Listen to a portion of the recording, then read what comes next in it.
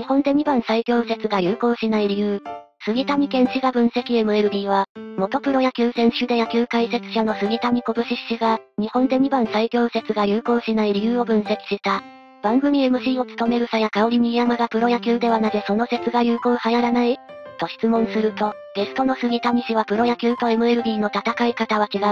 MLB は下位打線でもホームランや長打を打つ選手がいるけど、プロ野球の下位打線はそこまででもない。それに、プロ野球では最初の1点を大事にする野球をしているので、確実性のある3-4番にチャンスをつなぐことができる選手を2番に置いているんだと思うと答えた。この人たちは送りバントをするためにプロになったのかな？誰もが4番でエースになれるわけじゃないし、打者として優れてた阿部がこんな思考なのどうなってんだろ。統計で送りバントは効率が悪く、2番に強打者を置くのが効率が良いと分かったならやればいいと思うのだが、そりゃいつもバントさせてる2番に監督がバントさせるまでもないと判断するようなダメ投手相手の場合は強行した方が点が入ってるだろうし。杉谷がそれを言うのは変だろ。こうは昨日は2番マン派だっただろ。2番最強の打線は強打者がいっぱいおるチームしかできへんやろ。NPB やと実践できるチームは余計に限られる。送りバントも実は得点期待値が下がるって判明したのに日本は相変わらずだよね。日本はゲッツーを怖がりすぎるからね。国民性的な問題で無理。